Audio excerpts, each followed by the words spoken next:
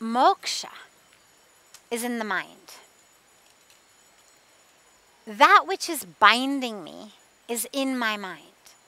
It's my own ignorance, it's my own ego, it's my own attachments, it's my own fears, my own desires, my own separation from myself, from the truth of myself. The key to moksha is to recognize the truth of who I am. That divinity, that fullness, that wholeness, that infinite consciousness, that pure awareness. This is the key. And so it's not about whether to do it with Lord Shiva mantra, Lord Vishnu mantra, the Mother Goddess mantra, Om. I mean, you only gave two options, but there's so many different options. It's not about that. It's about how you feel connected to that mantra, how that mantra works in you. That's what matters the most. All of the forms of the divine we know are part of the supreme reality. Lord Shiva, Lord Vishnu, Lord Brahma. They're not separate entities. They're separate powers of the same supreme reality. And so, whatever word you use, whatever name you use, what matters most is not the name, but the love that you use it with.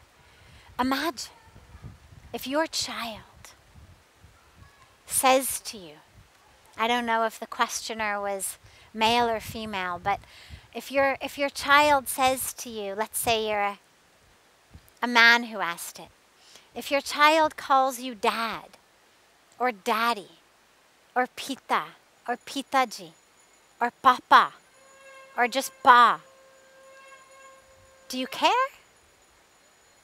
Do you love the child who says pitaji more than you love the child who says daddy? What matters to you is that the child is saying it with love.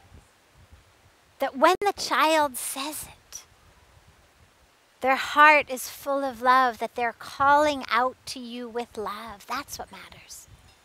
So whether you're praying, Hey Shankar Bhagwan,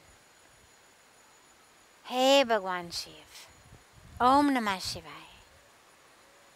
Whether you're praying to Lord Vishnu or any of Lord Vishnu's incarnations, you're praying to Krishna, you're play, praying to Ram, to any of the incarnations, or are you praying, Hey Ma Durga, Ma Saraswati, Ma Lakshmi, Ganeshji. Jai Hanuman. Right? I mean, how many options? We have infinite numbers of options. All that matters is that you pray with love. So find the form, the name that fills you with the most love, that when you're chanting that mantra, you're reciting the name of the beloved. That's the fastest way to the moksha the real bhakti, real love, real devotion that automatically merges you into oneness in love. Don't worry about the semantics. When you're in the arms of the beloved, whether you say sweetheart, or you say darling, or you say dear, or you say beloved, or you say mera jaan, or you say pyari, or you say whatever other Hindi ways there are of saying beloved, or any language. Doesn't matter. People say all kinds of funny names in love. Oh, my fruit cake. Oh, my cheesecake. Right? I mean, you hear people say all kinds of funny things all the time. But when you know cheesecake means me, you love it. So it's not it's not so much which which word or name or mantra. It's the love. If even we without God's omniscience, omnipotence, are able to understand, to feel love in someone calling us cheesecake. Imagine. Imagine God being able to feel your love, feel your devotion in any name, all the names. So chant the mantras and see which one feels the most like you're approaching your beloved, like you're speaking to the beloved, like you're calling out to the beloved.